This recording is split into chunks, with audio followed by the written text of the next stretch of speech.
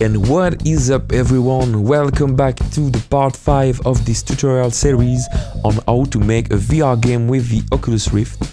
In today's episode we will learn how to set the vibration and the haptic feedback with the Oculus controller by calling a single line of code. So without further ado, let's get started. Okay, so before moving on the implementation of the vibration, I just want to add a gunfire sound when I shoot a bullet and you will see that it will come only afterward. I just imported in my project this Desert Eagle sound. So I'll just create another source component to my gun. I can uncheck the play on awake box and set the spatial blend to 3D because we want to feel like the noise is coming from our gun. Now I will trigger the sound when I press the button inside the shoot if grab script. For that, I can create a public audio clip type variable which will be the mp3 file and inside the update method we will access our audio source and make it play the shooting sound.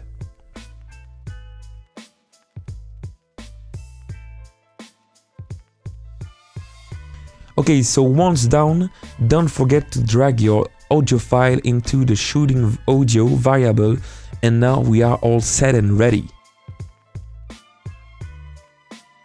Now, if I press play, you can see that the sound is coming nicely when I press the trigger button. So let's focus on the vibration or with other words, the haptic feedback. I will first show you the wrong way to do it.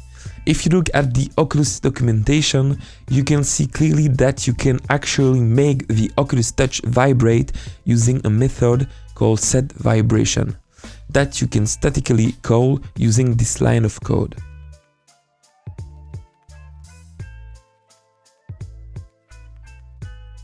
Well, my advice to you is to don't use these features because you have absolutely no control over the duration of the vibration by calling this function.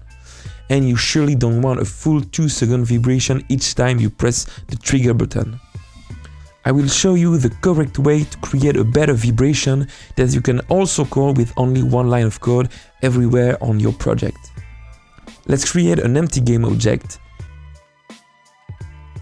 You can reset its position and I will call it Vibration Manager. Next, I will add a component of the same name to this empty game object. Inside the script, we can now create a function that I will call trigger, trigger vibration and that takes as an input an audio clip. We will use the sound that we've just added earlier to control the vibration of the controller. And for the second parameter of our function, we will add a reference to the controller that we want to vibrate.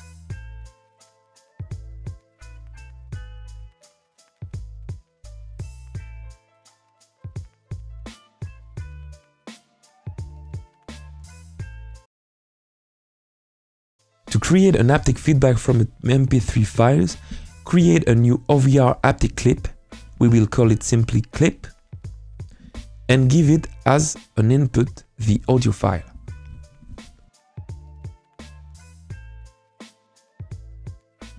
Next, if the targeted controller is the left one, we can access OVR channel and call one of the method in this class. We have mix, which will add the haptic to the previously played vibration, preempt, which will stop the current vibration and play a new one, and cue, which will wait for the current vibration to end before calling the new one. So in our case, we will call the preempt function and give it as an input the OVR haptic clip that we just created. Finally, we can do the same for the right end. Okay, so everything seems to be down, but there is still a little improvement that we can do here. If we want to call this function that we've just coded, we need to have a reference to the haptic manager uh, class and this can be really annoying and messy if we want to call vibration from a lot of different places in our project. The solution here is to use a static properties. That's right, you can simply write static in front of the function and call the function using this line of code. In our case, we will create a singleton. A singleton can be used when we know that there won't be more than one instance of our script. And that is the case here because I don't want two haptic manager. If you want to create a singleton of a class, just add these lines.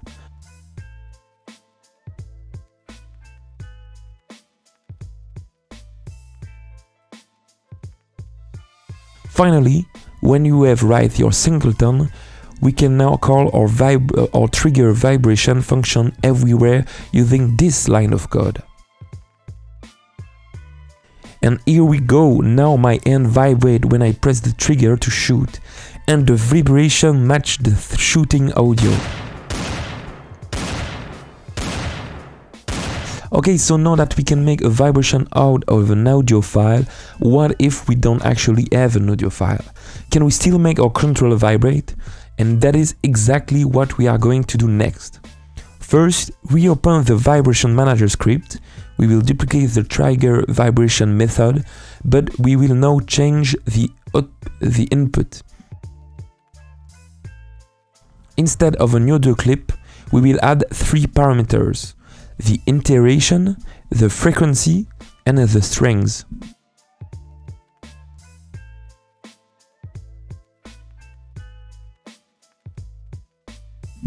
Before starting to code, let me first explain to you how to create a custom vibration that will summarize this article from the documentation of Oculus.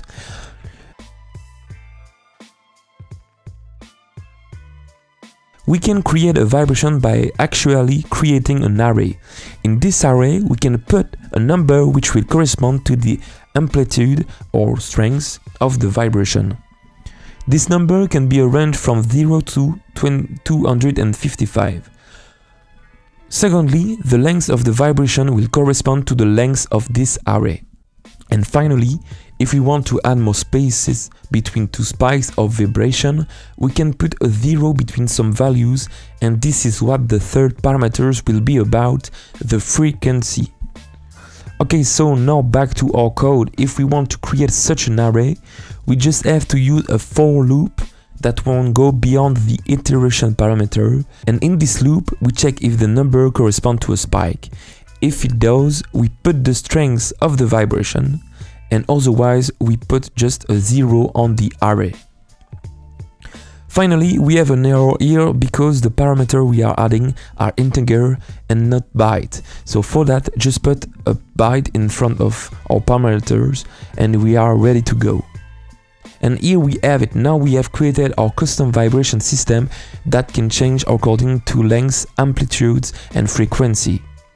And we can call this method everywhere we want using this line of code.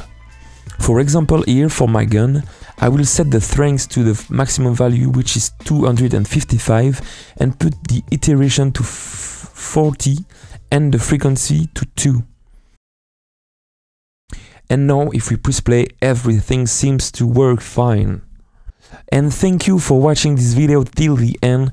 I also want to thank all of you for the lovely feedback that I'm getting with this tutorial series.